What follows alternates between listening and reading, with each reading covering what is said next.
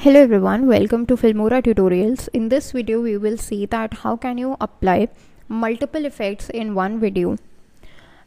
So for this actually what you need to do is you need to uh, cut the video or split the video into parts okay so suppose this is my video uh, duration is around 30 seconds i want to apply three effects into the different parts okay so firstly what i will do i will just slide it and trim those parts identify those parts where I want to apply the effects okay? So this is my first part this is my second part and this is my third part where I want to apply the effects okay? So now what do I do? I just select the first part go to the effects just select the effect which I want to apply let's say this effect just drag and drop on top of it.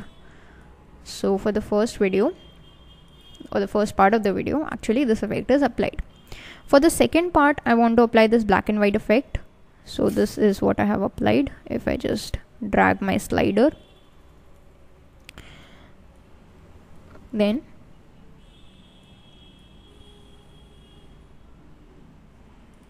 and play it.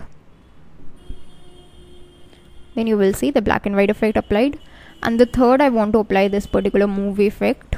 So if I just scroll my slider all the way to here and play it so you will see that the movie effect has been applied so this is how basically I can apply different effects onto a single video in Wondershare Filmora. That's it for this one. Thanks for watching.